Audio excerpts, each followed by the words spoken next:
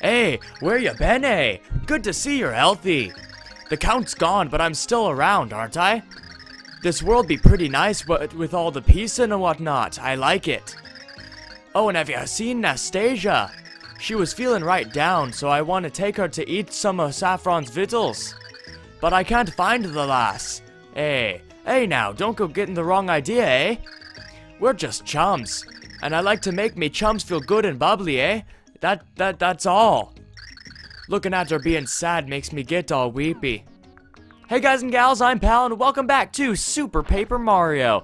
Last time, we defeated Dimentio and restored peace to the realms. I say realms because I don't remember how many there are.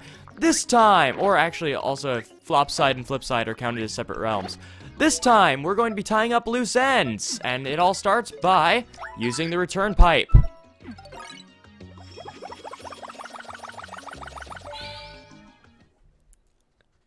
And then by going to Chapter 2 2.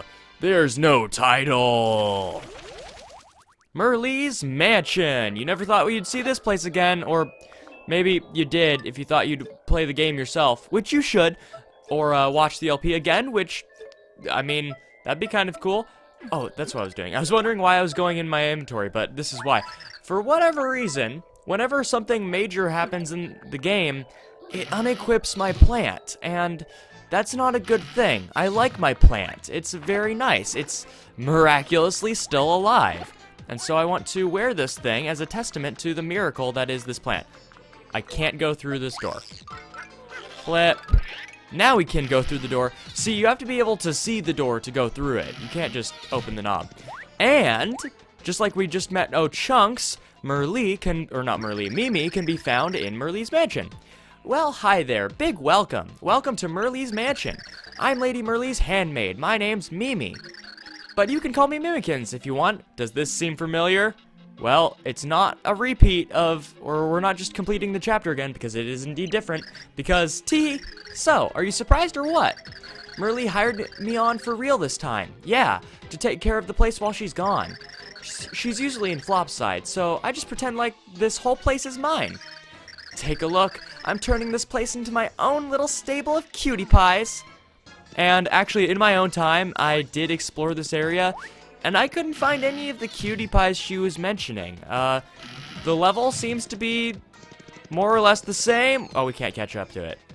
Well, I tried. They, they accounted for that.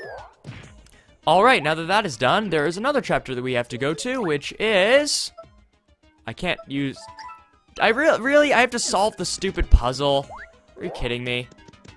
I want, just let me, got that.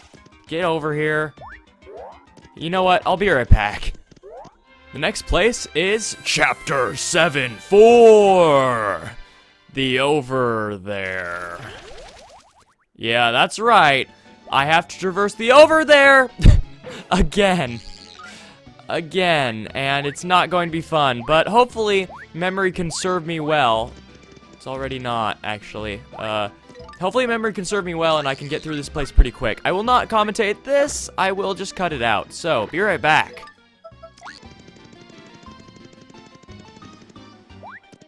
Oh hey, that wasn't so bad. I'm already at the Rainbow Bridge. That that really only took about two minutes. Thankfully, my memory served me better than, uh, better the second time around. So, if we go to the palace, if you last remember, we parted with this place on some sad and sober terms. Ooh, no, that's nice. And if we go back here, we will see that it truly ended happily because here is Loveby. Greetings, how art thou? Ha ha ha, thou hast a very confused look on thy countenance. Thou art wondering how I returned to life? Well, that is a secret. Ha ha ha, just kidding. Truth be told, I know not. But who careth? I am back. Mother and father hath been all over me since my return. They're so clingy. I guess it is my fault for being so cute. Well, thou should come play whenever.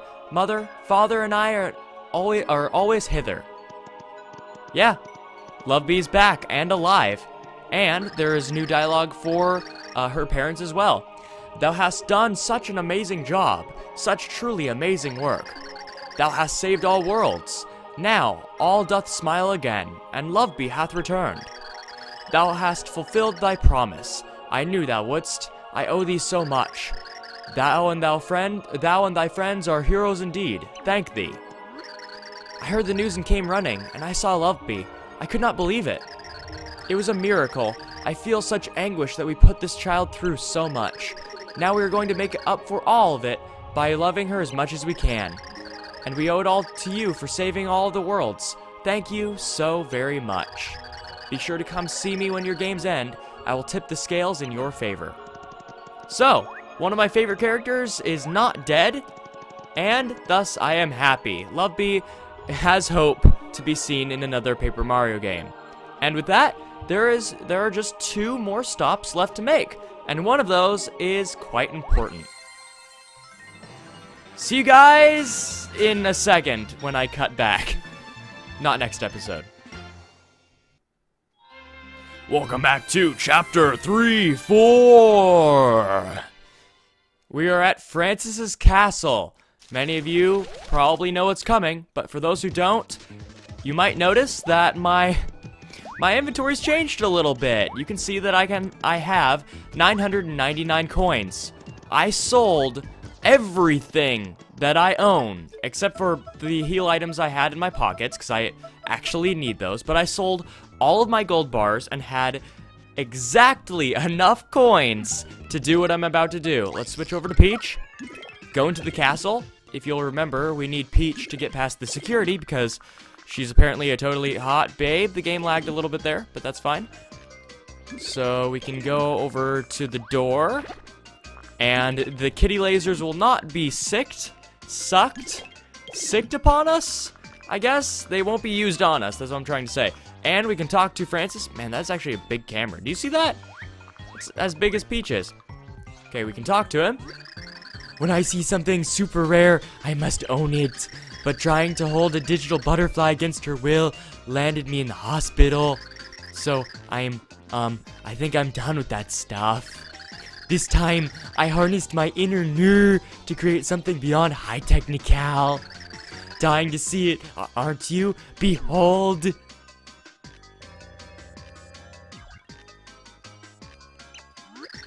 My masterpiece, a one-to-one -one scale replica of Tippy with real fluttering action.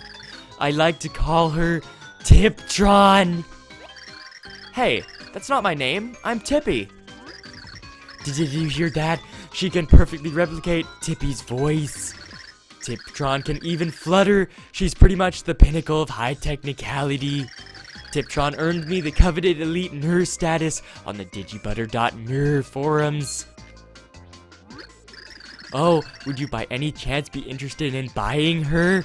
I'm saving for Starship Exnaut issue 1, so I'll sell her for just 999 coins. This is a sweet deal on a super rare collectible. What do you say? Now, I have tried this in the past, and when I say past, I mean a failed recording. If we say don't buy it, nothing happens. It does not go down in price, we just don't get it. So we actually have to buy it and pay 999 coins. No, I knew you couldn't resist something this high technical.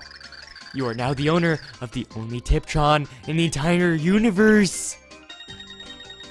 And with that, we're flat broke. But at least we have a friend? Tippy's robot replica, Tiptron, has joined your party. She looks and talks just like the real Tippy. Well, are you ready to go? That's it. That's right. We have Tippy. Now, she's a little bit different from Tippy. Because if you have her analyze your main party member, I found out she says something apparently pretty special. Thanks to you, every world is safe. We are grateful for your selflessness and courage. At least, that's what I think she would say.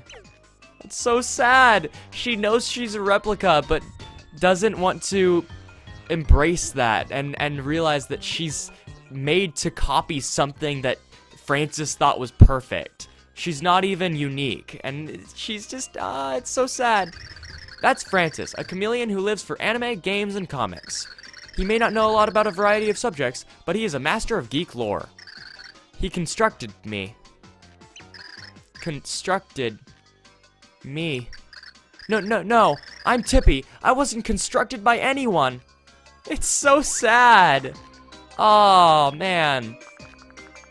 That's so sad. Well, I mean, at least Francis managed to make uh, a, I almost said omniscient being. No, a sentient being, but still, she's, she has such a big burden that she's trying to live up to the person she's never even seen and who everyone misses and probably looks at her in a strange way because they know that she sounds and acts like the real Tippy, but she's not. It's so sad. Alright, well, now that we have Tiptron, let's break her in, which sounds even worse, by going to the last stop in our adventure. If you'll remember, the Sammer Kingdom was destroyed before we could complete the Gauntlet of the Sammer guys. Now, it's back, and there's only one level. Well, there's the first chapter, and so we're going to be completing that in the remaining episodes of this series. I'm not exactly sure how far upwards we are on time, but I'm going to tackle at least the first section this episode. Well, maybe. Depends on what Future Pal decides. If this episode is is pretty lengthy in time, he'll just cut it here. But he will maybe cut it or not. I don't know. I don't know. Future Pal's a weird person, and he's also stolen from Proton John. But we will see what his mood fits and what he thinks by by hitting yes. Welcome back to Chapter 6-1. No title, but I will call it the Sammer Guy Showdown, because I think that's actually what it was originally called. Alright, this is it. The final, final, final battle. There are no pits that we have to do. We don't have to go through the flopside pit, although I was a little bit worried when I originally found out that I would need 999 coins to, uh, to buy Tiptron. But thankfully, I did not have to complete anything off screen to get all those coins. Uh, but this, which makes this the actual final battle. So, let's go with, let's go with Carrie. Bowser Carrie with Tiptron, who, if I can be honest, Tiptron looks cooler than Tippy because she's smoother. She's not all pixelated, and Francis did a pretty good job on making Tiptron. I'll have to admit, he is definitely a, a geek master. So, uh, let's see. We stomped you before, yeah, yeah. Wait, you're that challenger from before? You fled this land like a crying whelp. The hole in the sky is gone, but the challenge stands until a victor is found. If you desire the king's treasure, step forth and challenge my skill. Leave the palace before the 100th fight ends, and your progress will be lost. And with it, your family's honor. Make a note of this. Dishonor on your whole family. Dishonor on you, dishonor on your cow, and I'm sunk. So yeah, I'm going to be completing all of these. Uh, I'm not going to bother skip- wait, wait, wait, wait, wait, wait, wait. Did you see that? Your skill is strong, your master has taught you many ancient techniques. May we cross tentacles? Again? Challenger? A lot of question marks there. Why is he... Why were we... What? Oh, oh, he was Jade Blooper. That's what he was. Okay. But still, that was a weird comment, and I'm to start saying that to everyone I meet. May, may we cross tentacles again one day. I see you! Look upon hill with eyes, keeper of the second gate. You run along the earth, attacking immobile blocks, and I see you! You will leap above deep pits, dodging wandering beasts, and I watch you! Soon you will fall into battle by my merciless hands, and I laugh at you. Round two fight. I won't be doing, I won't be giving all these guys voices, but the ones that I find funny and interesting, I will. Come on. Come on. No, you can't run forever, which is why you decided to embrace your fate and embrace my fire breath. Ow, right in the eye. You did not wither beneath my cold, unflinching stare, and so I am defeated. But defeat and victory are equally meaningless to one such as I. I will remain in the distance, waiting without remorse, and always watching. This is Old Man Watch-It, son. And his name was Hill with Eyes. Oh, I just got that, wow. Hill with eyes. The, you know, the hills that have eyes in the Mario series, he's named after that. An opponent blows in, my name floats like an ill wind, for I'm Puffing Fist, Guardian Third Gate. I'll send the, yeah, sure, whatever. You're going to die. You, these early fights are pretty meaningless because I can hold down on the D-pad and instantly defeat all of these guys. Alright, goodbye. So yeah, I'm not sure how Future Pal is going to designate and separate out these episodes, but I will trust his judgment and make sure I make it easy for him because things don't go well for Future Pal when I make things hard for him. Uh, Flightless Bird, I remember you. So many of these guys are the same, obviously because, you know, we're going through the first 24 floors again. But one, past that, they do start getting new, so that's that's kind of neat. But yeah, I realized the other day when I I said in an episode, uh, let's see, I'm not sure how long ago that was, but I said, you know, I I mentioned I haven't mentioned Future Pal in a while, and it's kind of odd because back in Okami, I mentioned him all the time. But uh and also I found it funny that it, I just kind of shamelessly stole him from Proton John, but I mean, it's I mean, it's unique because it's Future Pal, not Future John. It's completely unique, just like I am, right? I'm I'm special, I'm unique, right? Right? I'm not. I'm not that unique. I mean, I, I'm a content creator. Of course I steal things from other people. Uh, consider this haiku. A challenger comes under the darkening sky. This was one of my favorite guys because of Wiggity Wiggle. Wiggle, wiggle, wiggle. and then his ending haiku is also pretty good. But I mean, that's that's not a bad thing. Proton John is probably one of my favorite LPers. Uh, I don't know why I put a question mark there, but he definitely is. Come on, man, you're the man. No, how am I taking damage to this guy of all people? I took four damage from this guy because I was talking about Proton John. The challenger came. Now my face wiggles in pain. Wiggle, wiggle, wig. Wiggle on, warrior. Wiggle on. Yeah, he's probably one of my favorite commentators. He just does... He's also one of the originals, but he has a really good balance between times when he's commentating and times when he's quiet. I, I don't know how he does it, but he manages to make his complete silence entertaining.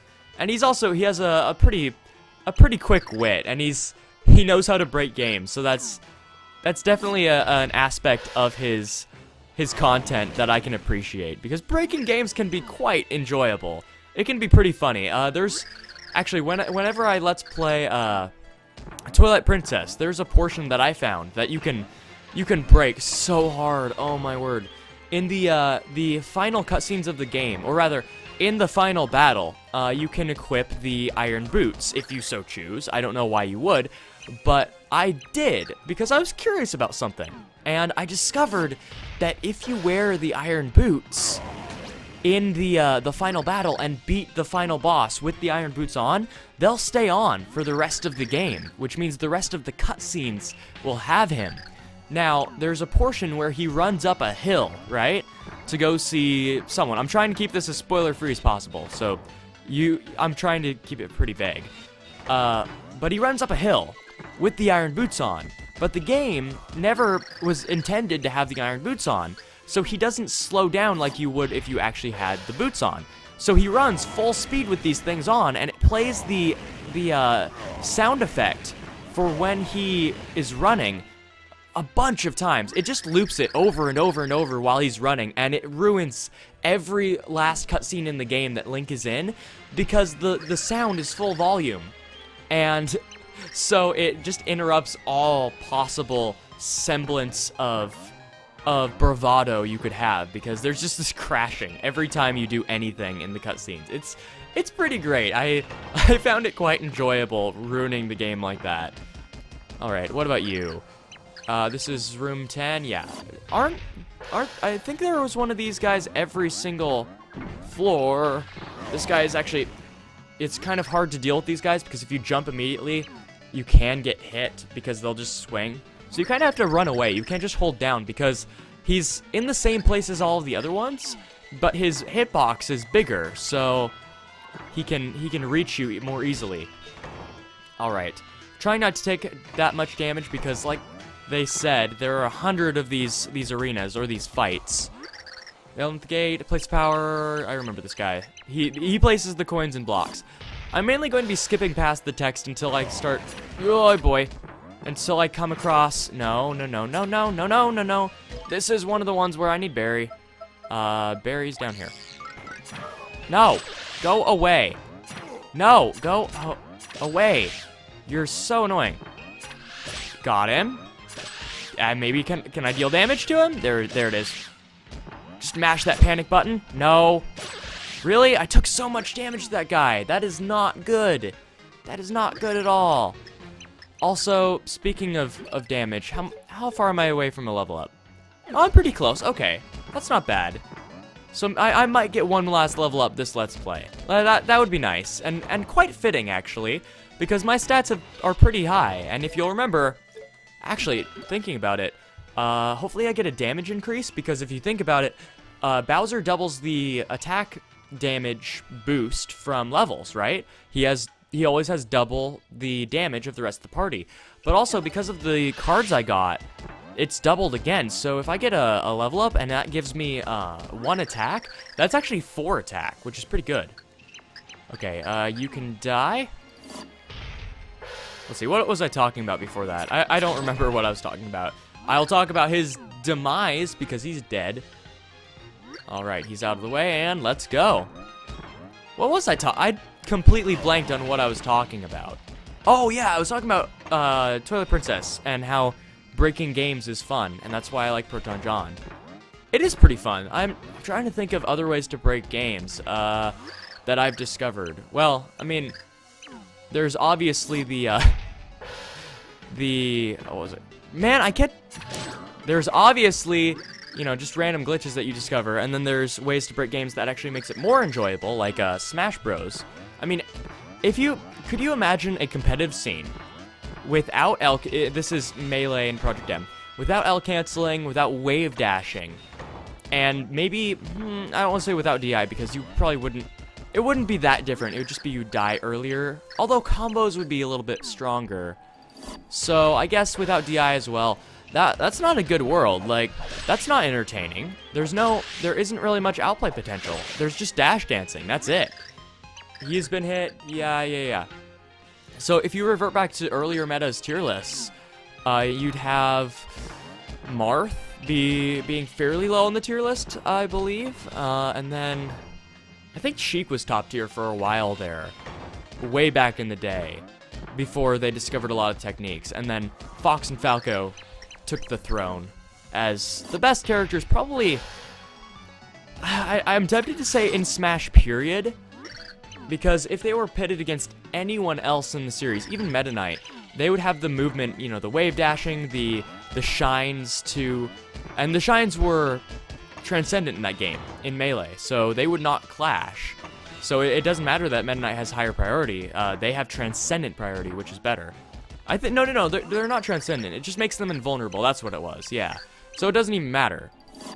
Yeah, they would, I'm pretty sure they would beat anyone in their respective game. Okay, uh, the world grows clammy, and Sweaty Palm is dead. Or, he's not dead, but he's, he's vanquished, so that's nice.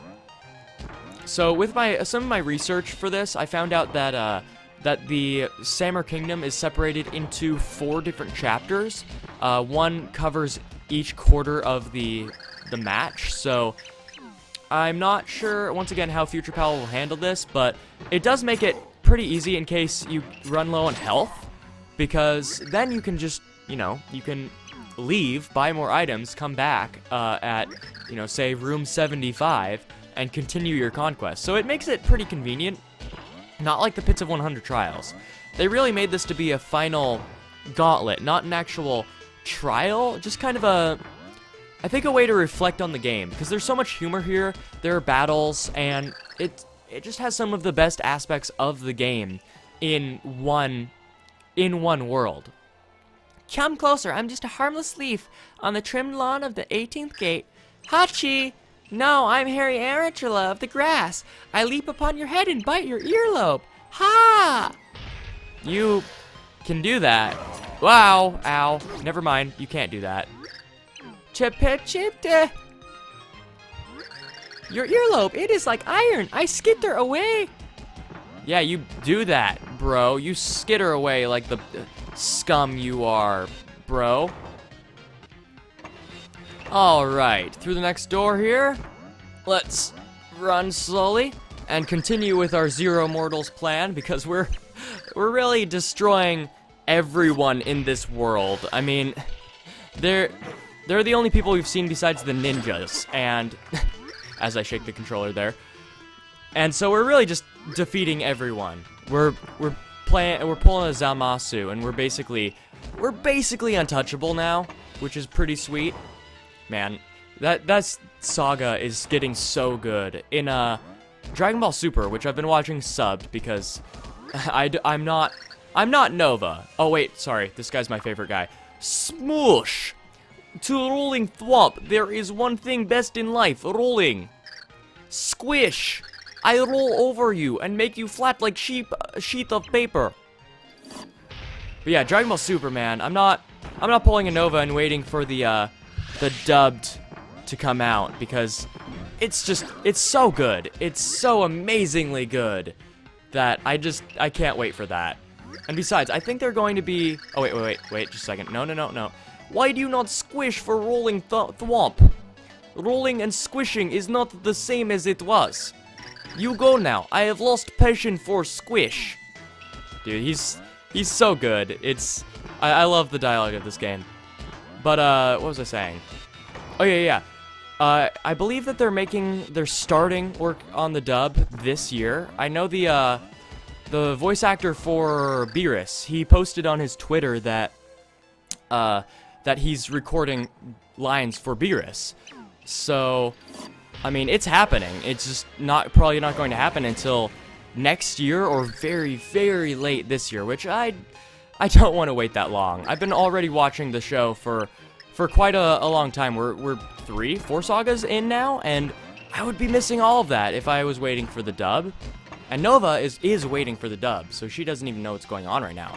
And it's really great. It's gotten intense. It, it almost feels like Xenoblade right now, because there's uh, I don't want to spoil it, Snap. I, I would spoil both Xenoblade and and uh, Super, but uh, I'm tempted. I'm tempted to have a spoiler warning. Wow, that was that was a good jump. Nice, good job, me. Subconscious me. It's kind of a bad jump because he jumped at the same time, but it worked out. I got the height advantage. I got the high ground, as they say in Star Wars. But uh, but yeah, it's so good. Oh man, I I'm tempted to say that it that the current saga is better than the Cell saga, which is which prior to Super was my favorite saga, and Cell, I mean it's kind of obvious, is my favorite Dragon Ball antagonist. So I'm tempted, but I, I there are a lot of people trying to make calls on that right now. Ow, I timed that late. There we go. Uh, jump, burn. Oh, I could do that. Oh, I didn't think of that. I could stun them with the uh, with Barry and then burn them. That actually works pretty well. But there are so many try people trying to make rash judgment about uh, Dragon Ball Super, and they're doing it, you know, at the beginning or middle of a saga when not everything's been revealed yet, and it's just it's really sad. I uh, I saw, I was looking through threads today on uh, just random forums. I think GameFAQs was one of the forums I was looking at, which is shows how how deep I'll search for a way to back up my opinions. And uh, I saw some people two months ago, they were talking about one of the antagonists, and they said that he was a he. They said he was a, a subordinate, almost seemed like a subordinate carbon copy of another character, and I'm trying not to spoil it, but it, it, it, was clear that they were making this comment before maybe two or three plot twists that made that comment super ironic. Again, I can't really say this, but... Whoa! Reflector man! Reflector man! No, Reflector man. Burn. How did that not hit him? No, okay, that doesn't work. Come on. Nice, I hit him. And hit him with that, and... It, how is he not dead? How is he not dead? Reflect them. And jump. No, no, jump. No, that doesn't work. I need to stop using that strategy. Man, he did, he's been dirted, what? What on earth? What did I miss here? You have shamed me. You are truly a champion. A filthy champion, but a champion nonetheless. Now you may go and prove your filth to even stronger guys. Okay, I feel like I missed some context here. Uh, we're close to a level up, so I won't heal myself. Oh, and we're actually at the end of the chapter. Okay. Uh, I guess I'll end? I won't do the outro just in case Future Pal is keeping these episodes together, but I will see you in a second, maybe?